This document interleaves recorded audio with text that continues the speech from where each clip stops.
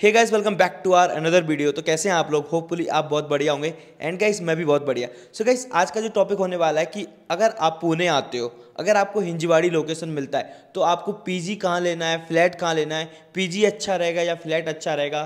कितने पैसे में आप सर्वाइव कर सकते हो, यहाँ पे कौन सी लोकेशन पे आपको फ्लैट लेना चाहिए इजी कहाँ पड़ेगा अगर आप कंपनी ट्रैवल करना चाहते हो तो। क्योंकि यार देखो, किसी भी कम आप किसी भी सिटी में जाओगे ना तो देखो ट्रैफ़िक बहुत ज़्यादा होता है। तो मैं ट्राई करता हूँ ना कि अगर आपको फ्लैट लेना है तो कंपनी के थोड़ा सा नियर लो।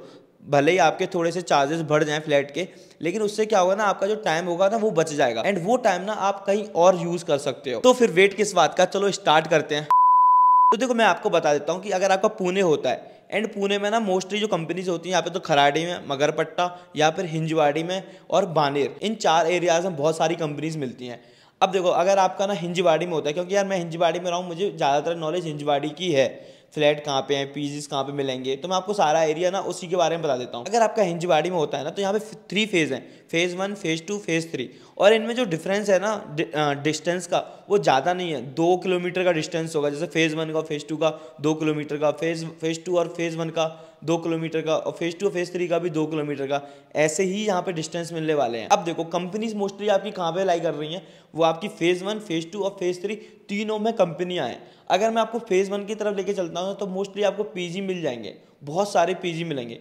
फ़ेज़ टू में ना आपको पीजी बहुत कम मिलेंगे। पीजी कैसे मिल सकते हैं? फ्लैट एज अ पीजी मिल सकता है। किसी जैसे मैंने टू बी का फ्लैट ले लिया। एंड मैं इस फ्लैट को ना एज अ पीजी उठाना चाहता हूँ। तो डेफिनेटली मैं इसे उठा सकता हूँ। इसे पीजी बोल सकता हूँ। और अदरवाइज़ जो पीजी होते हैं ना, वैसे प्रॉपर जो पीजी होते हैं, जैसे चार पाँच मंजिल की बिल्डिंग है एंड वहाँ पे आपको एक रूम मिल गया, एक रूम में शेयरिंग बेसिस मिल गया तो वो पीजी अलग होते हैं, जिसमें आपका फ़ूड भी इंक्लूड होता है। एंड ऐसे फ्लैट वाले पीजी में आपका फ़ूड इंक्लूड नहीं होगा। फ़ूड के चार्जेस आपको अलग देने पड़ेंगे मतलब खुद ही बनाना होगा फ्लैट में, आपको किचन वगैरह पूरा सेटअप मिल जाएगा। लेकिन आपको फ़ूड खुद से बनाना पड़ेगा। अब देखो, अब फ़ेज़ वन में जो आपकी कंपनीज़ है, जो मैं जानता हूँ परसिस्टेंट है विप्रो है कॉग्निजेंट का भी कैंपस है वहाँ पे। और भी बहुत सारी कंपनीज़ हैं जिनके में एक्सेंचर है आपकी, और भी बहुत सारी कंपनीज़ जो मैं नहीं जानता। अब देखो फ़ेज़ फ़ेज़ वन में अगर आपको जाना है तो पीजी बहुत सारे मिल जाएँगे। एंड मैं आपको रिकमेंड भी करूँगा ना, अगर आपको फ़ेज़ वन में होता है तो फ़ेज़ वन में ही पीजी या फ्लैट लें। फ़ेज़ टू की तरफ़ ना आए, क्योंकि डिस्टेंस हो जाएगा ना तो ट्रैफ़िक की वजह से आपका टाइम भी बहुत ज़्यादा खराब होगा। अब बात आती है फ़ेज़ टू में। देखो फ़ेज़ टू में आपकी जो कंपनीज़ है ना, वो आपकी है इन्फोसिस विप्रो एंड देखो, दो मेन कंपनीज़ तो हैं यहाँ पे। बाकी फ़ेज़ टू में और ज़्यादा कंपनीज़ नहीं है। ये दो मेन कंपनीज़ हैं, जिसमें आपकी इनपुट आती है विप्रो आती है। तो यहाँ पे आपको ना फ्लैट बहुत ज़्यादा मिल जाएँगे। यहाँ पे बहुत सारी सोसाइटियाँ हैं, पाँच छः मतलब काफ़ी सारी सोसाइटी है, पाँच छः तो नहीं।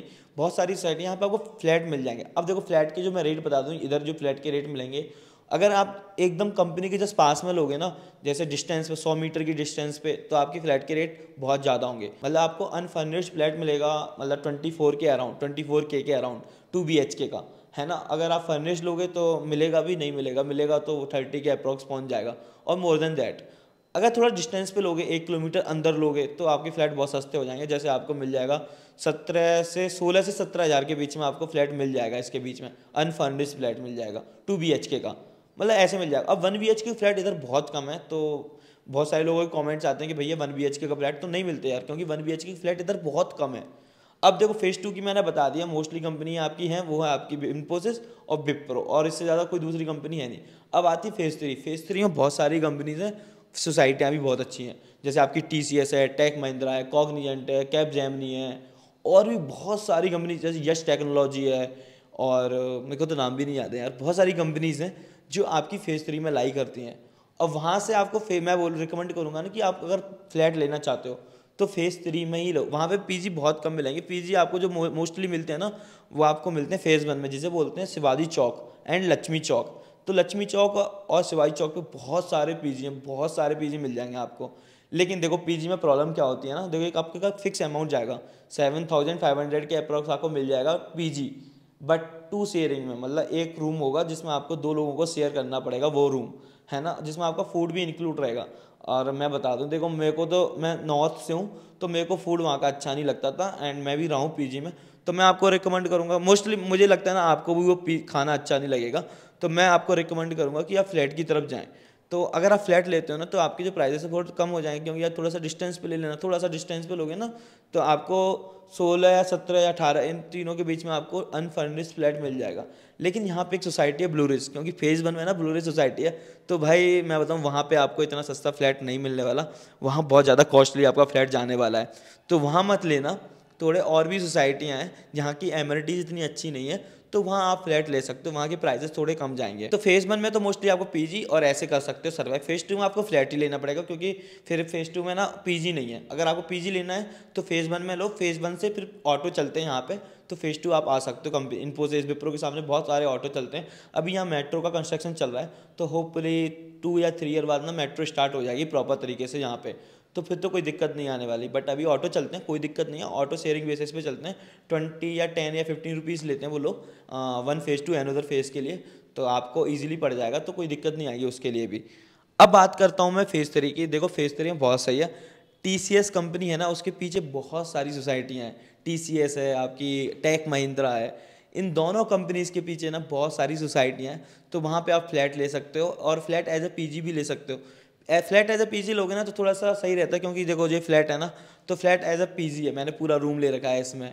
तो इसमें क्या होता है ना, कोई अगर आपका दोस्त आता है तो आ सकता है। पीजी में दिक्कत होती है, क्योंकि पीजी में वो लोग नहीं आने देते अलाउ नहीं करते।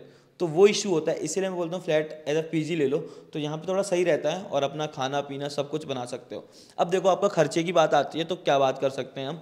देखो, मैंने आपको फ्लैट के बारे में बता दिया phase one phase two phase three तीनों फ्लैट ले सकते हो ईजिली आपको मिल जाएगा। एंड फ़ेज़ वन में आपको पीजी बहुत मिलेंगे फ्लैट भी मिल जाएँगे, लेकिन मैं पीजी रिकमेंड नहीं करता क्योंकि भाई वो पीजी में खाना पीना अच्छा नहीं मिलता। बट एक चीज़ के लिए रिकमेंड कर सकता हूँ पीजी अगर आप न्यू हो मतलब पूंजी सिटी में न्यू हो तो आप क्या कर सकते हो वन मंथ के लिए पीजी ले लो या टू मंथ के लिए लो तो थोड़ा सिटी को जान जाओगे अच्छे से, फिर उसके बाद फ्लैट पे मूव ऑन कर सकते हो। क्योंकि फिर अगर आपने ले लिया ना साथ आते ही तो आपको ना ब्रोकरेज चार्जेस वगैरह देना पड़ेगा। एंड ब्रोकरेज चार्जेस मतलब आपका जो फ़र्स्ट मंथ का रेंट होगा ना सेम आपको ब्रोकरेज देना पड़ेगा थोड़ा बहुत कम कर सकते हैं वो लोग बट उतना ही जाता है।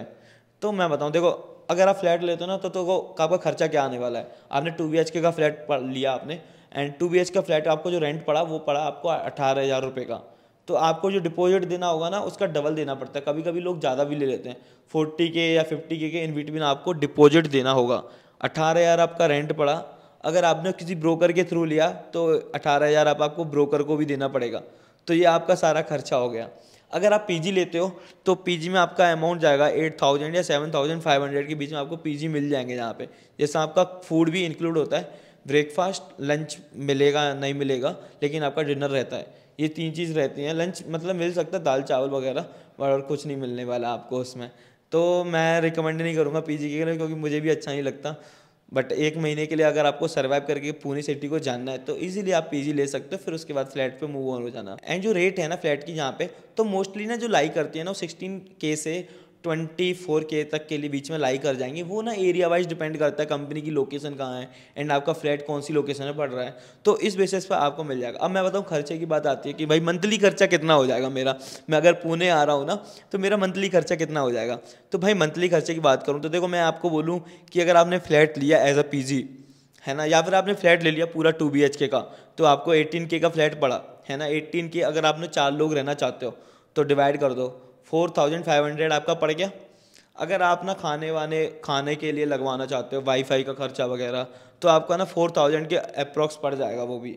खाना, पीना वाई वगैरह, सारा मतलब फ़ूड जितना भी ग्रॉसरी वगैरह सामान आने वाला है, वो सारी चीज़ों को लेके ना फोर थाउज़ेंड के अप्रॉक्स पड़ जाएगा आपका।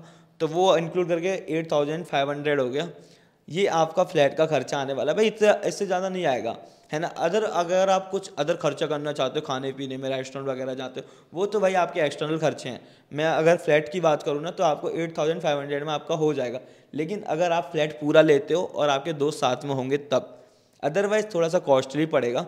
मतलब लेकिन ना, इससे ज़्यादा नहीं जाएगा। मतलब ट्वेल्व थाउज़ेंड जा सकता है हार्डली इससे ज़्यादा जाएगा नहीं। लेकिन आपके अदर खर्चे हैं, सुट्टा वगैरह मारना चाय वगैरह पीनी भाई, वो अलग है। आप उसे ना इसमें इंक्लूड नहीं कर सकते फ्लैट के खर्चे में। तो वो चीज़ें आपकी अलग हैं बिल्कुल भी, जैसे आपको, लेकिन ट्रांसपोर्टेशन का मैं बता दूँ ऑटो वगैरह चलते हैं रोज़ाना, आपको फाइव डे वर्किंग रहता है, और यहाँ पे बसेस वगैरह भी बहुत चलती हैं मतलब बहुत सरकारी बसेस चलती हैं तो आपको ईजिली कोई इशू नहीं होने वाला।